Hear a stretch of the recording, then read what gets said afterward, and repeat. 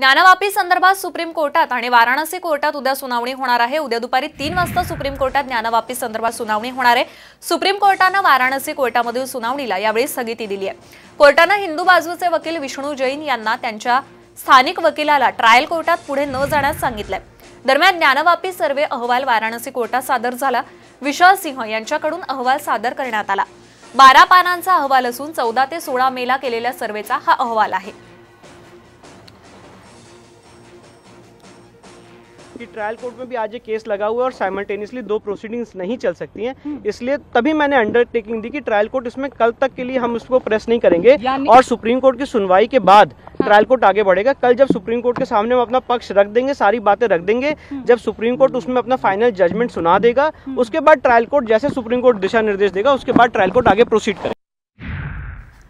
दरम्यान सत्याचा विजय नक्की होईल असा विश्वास याचिकाकर्त्या सीता साहू यांनी व्यक्त केलाय.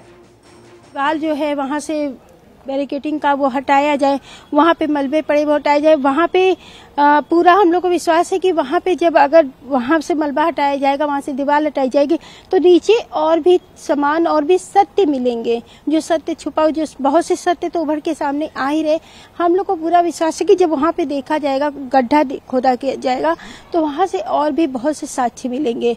पूरा विश्वास है कि जो शिवलिंग मिले हैं वहाँ पे अर्धा बना हुआ है क्योंकि हम लोग उसे माँ पार्वती का स्वरूप मानते हैं, माँ गौरा का स्वरूप मानते हैं, वो अर्धा भी ज़रूर मिलेगा और भी बहुत से साथी मिलेंगे।